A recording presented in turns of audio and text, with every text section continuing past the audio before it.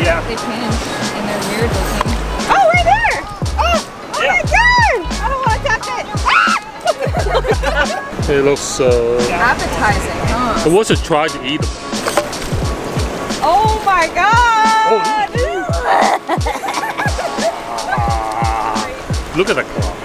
Wow. Now here's my secret weapon. This small hook, this works well because it's so small, it's so lightweight that fish can't see the hook and you can put a small piece of bait on here. It's very inconspicuous.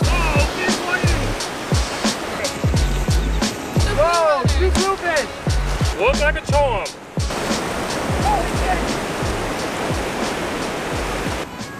I'm telling you, these small hooks work so well because you hook everything. Oh! Whoa, Jack!